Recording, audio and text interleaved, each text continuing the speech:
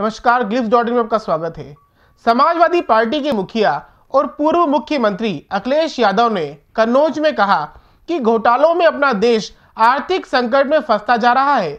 उन्होंने कहा, बैंकों में जमा गरीबों का पैसा अमीर लोग लेकर विदेश भाग रहे हैं।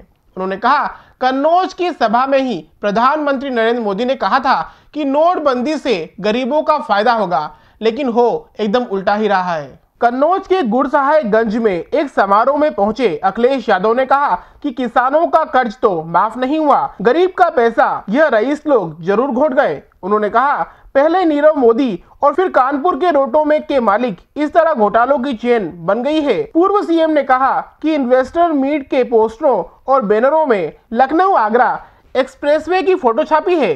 अगर इससे प्रदेश में कुछ धन आ जाए तो वो कहने को तैयार हैं। कि समाजवादियों की ये एक्सप्रेसवे भाजपाइयों ने ही बनवाई है।